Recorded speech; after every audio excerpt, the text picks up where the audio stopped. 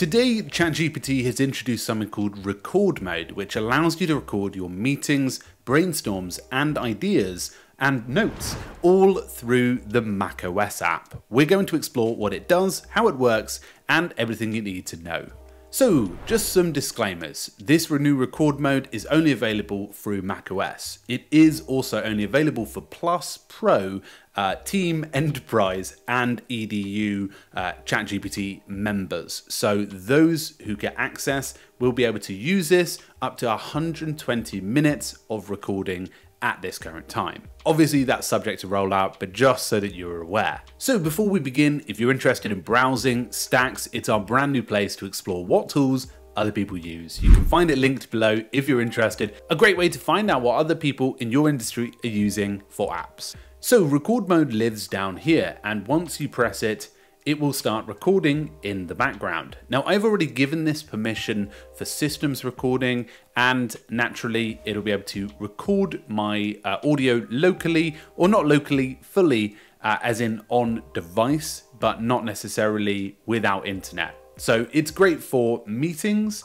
uh, personal notes or just ideas and brainstorms as you're able to use it in the background. Looking at the privacy elements of this, ChatGPT um, really enforce uh, that they want consent when users record and audio is deleted after the transcription.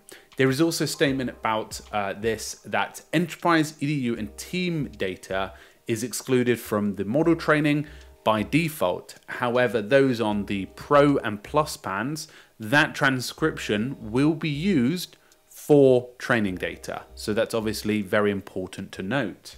So in terms of referencing this information for future, if you've enabled the ability to recall past recordings and summaries to help answer future questions, this can be turned off in settings and in the personalization area and will help you to essentially uh, be able to reference it for future. So if you have a meeting and you record it using ChatGPT, then in the future, it's going to be able to remember all of that context that you recorded on. So as you can see, I've pressed stop and I can go ahead and press resume or send.